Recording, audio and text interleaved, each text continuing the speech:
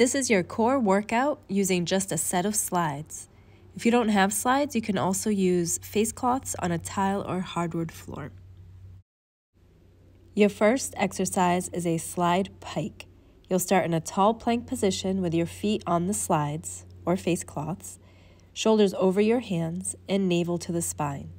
Keeping the legs as straight as you can, draw your hips up toward the ceiling as you slide your feet toward your hands. Then slide the feet back to starting position, making sure to keep the shoulders over the hands and the core strong. No sagging. Next up is your side plank pulse, starting in a side plank position with your elbow under your shoulder and your top foot staggered to the front. Find your neutral position so that your hips are lifted and in line with the rest of your body.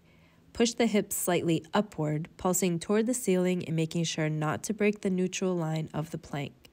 Always pushing up, never sinking down. Next, we have the body saw. You'll start in a forearm plank with your feet on the slides and use your arms to push your plank back and forth. Make sure to keep your plank straight so you're only shifting through the arms, opening the angle in the armpits and then pulling your body back to starting position never allowing the hips to sag.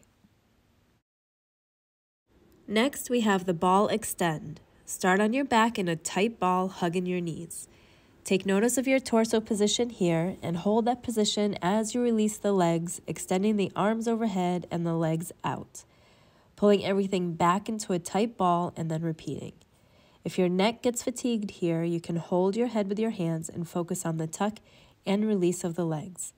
The shoulders should always stay slightly off the floor and your rib cage tucked toward your pelvis. Lastly, we've got the high jump.